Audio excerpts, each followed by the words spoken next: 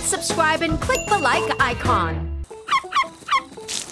Wow, a spitting fish. Now I've seen everything. Say cheese. Do you know what it is?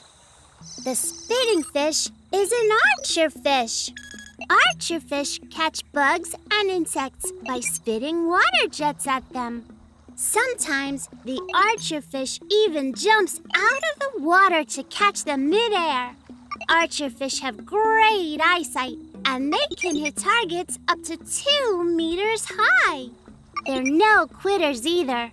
If at first they don't succeed, they'll spit, spit, and spit again. A cricket?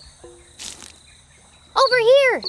Oh, I think the archerfish is just trying to catch this cricket, but it's not very good at it.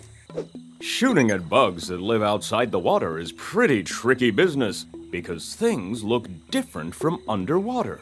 Every archerfish needs to learn how to aim properly. It's not something they can do right away. When a young archerfish starts hunting, it's not very good at it. At first. But after watching other archerfish and practicing, it gets better at aiming and shooting. All it needs is more practice. Well, the Junior Rangers are here to help. We'll teach the archerfish how to aim and shoot perfectly.